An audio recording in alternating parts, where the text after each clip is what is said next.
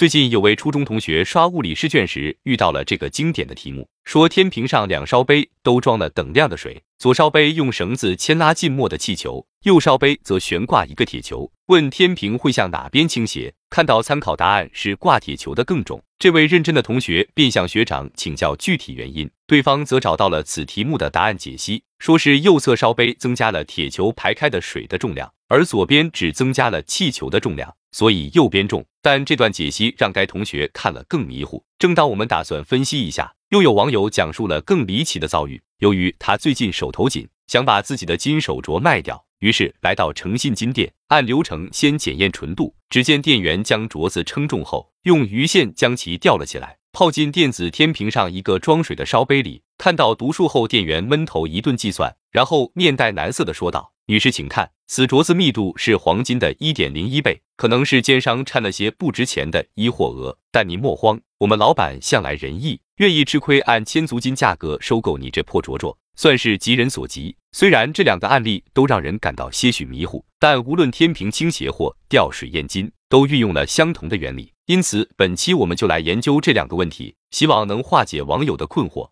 对于天平倾斜问题，我们还是先看看挂铁球的烧杯里出现了怎样的变化。为此，我们找来一个铁架台，悬挂铁球，并缓缓向装水的烧杯里下降。随着铁球入水，水面也不断升高。等它完全沉入水中，突然有眼尖的人发现，原来这并不是普通的铁球，因为它的表面分布了一圈微小的压力传感器。从回传的数据看，这些传感器采集到的水压随深度增加，使球面各处都受到了指向球心的压力。而球面各处水压的合力，当然就是铁球所受到的向上的浮力。但这只是造成吊绳拉力减弱，对烧杯又有什么影响呢？进一步观察发现，球面上微小的压力传感器之所以有读数变化，是由于水压推挤传感器膜片发生位移。照这么说，既然膜片受到水施加的指向球心的压力，那么此处的水当然也受到膜片施加的远离球心的压力。因此，将水对铁球的压力反向。就是球面处的水所受到的铁球施加的压力。回想铁球入水前的情形，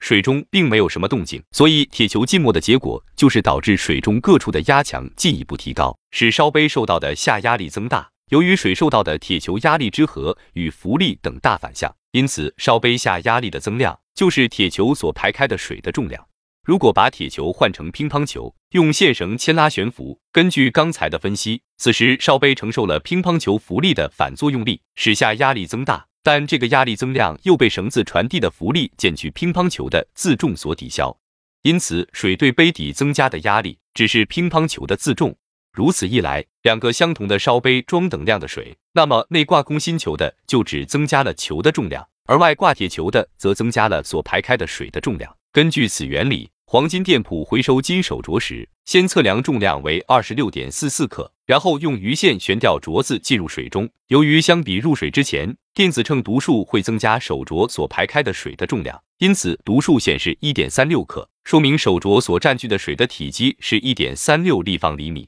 既然知道了重量和体积，于是二十六点四四克除一点三六立方厘米就是该手镯的密度，再除黄金密度十九点三二克每立方厘米就是其黄金纯度。结果除下来，纯度是金子的一点零一倍。显然，这和水的密度误差、电子天平误差以及鱼线的粗细和入水长度有关。于是，在网友强烈要求下，店员又重复测量数次，最后无奈确定纯度大于零点九九九，所以这个镯子其实是万足金。那么本期的问题是，如果你是诚信金店的老板，又会通过哪些不易察觉的可行手法，在不知不觉中将客户的金手镯纯度降低呢？